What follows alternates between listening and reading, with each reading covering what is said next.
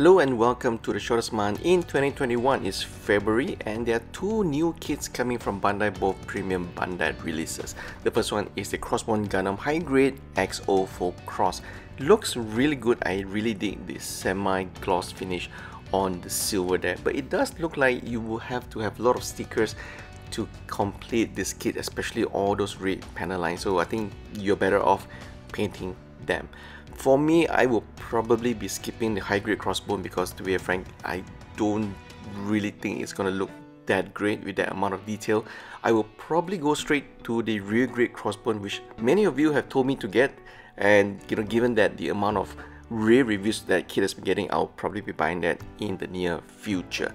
What was surprising though was the announcement of a reissue. So the Dictus is being reissued by Bandai again. The kit was first announced in August 2020 last year. So I was quite surprised that this kit is getting a reissue so quickly in 2021. Not sure whether this is high demand or maybe it didn't sell very well. So that remains to be seen. One of the interesting release this week is actually the Gundam Artifact. It's a plastic mini kit released under their Shokugan Candy Toys. And I'm not sure why I missed this new product uh, announcement last year because if you want to buy this now, it is going to cost you up to 5,000 yen. But the bad news is this is not a premium Bandai release though. You are probably going to struggle to find this in your hobby stores because everywhere I look, most of the online hobby stores are already sold out. So they're actually surprisingly popular, right?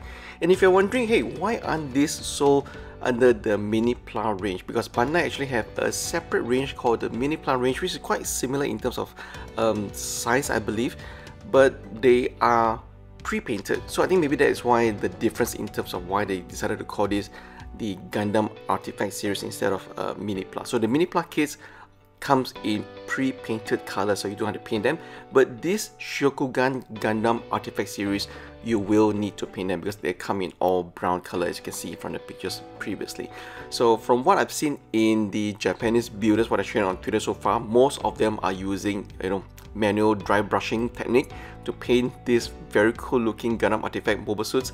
And they all look surprisingly good and detailed despite the size. So that is something that actually is quite interesting to me.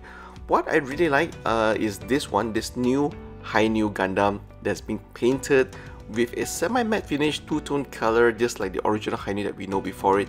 And if you put that mobile suit next to the Tamiya paint bottle you can pretty much see how small this guy is right? So all in all there are five separate mobile suits. There's Hi-Nu, Nightingale, Baron Custom, Rick Dias and also uh, what's the other one? Ex-S Gundam as well right? So if you guys are able to secure this I will highly recommend them. But this is the first in terms of the Gundam Artifact series so hopefully there will be a volume 2 from Bandai coming up very very soon Before you turn off the video or unsubscribe from my channel, please wait. This is not another new Unicorn Gundam product by Bandai or a third-party bus. This is actually, and hear me out, this is actually a fully functioning computer built with a customized Unicorn Gundam case built by Mr. Suchao from Thailand for the new upcoming Case Mod World Series organized by Cooler Master. And how cool it is for the first time I actually get to talk about my two favorite subjects, Gunpla and also PC and Cooler Master. So the Case Mod World Series is a yearly affair, you know, every year they challenge PC builders to create customized case that is you know something that is out of the ordinary, something that's very unique. And Mr. Sucha from Thailand decided to create a computer case based on a Unicorn Gundam Destroy mode. It's pretty big as you can see the dimensions here. But what is actually cooler was when you look at the actual size of the product, as you can see there, it's pretty big. It's really huge. And what I'm actually most impressed about is how he actually managed to cram the whole PSU, motherboard, RAM, and also the cooling, right, for the entire system. And he also managed to cram in quite a lot of RGB for the base and also the entire Unicorn Destroy mode. So that's actually quite an interesting mod. I'm actually wondering if Mr. Sucha will actually sell this um, piece after the contest or will he be actually accepting commission build because I certainly wouldn't mind having a Banshee Gundam as a PC case right at my home. So yeah, all the best to Mrs. Suchao for the entry. Um, but of course, question that I actually have for this entry though, because ASUS is now going heavily into many Southeast Asia companies, uh, countries to start promoting their Gundam related merchandise, right? So ASUS have launched new Gundam related products like keyboards, motherboards, PSUs, monitors. Uh, you can check out my channel for that video or I'll put it on the top right link right now. So will they actually pick something that is related to their competitors new product launch which is again Gundam right so that that remains to be the biggest question I have whether the organizers will pick on something like this which obviously the brand IP belongs to Bandai and Sunrise so I'm not sure whether this will be able to qualify them or whether this will disqualify them from the contest. But nevertheless, I am actually quite impressed by the overall build by Mr. Chow and I wish him all the best.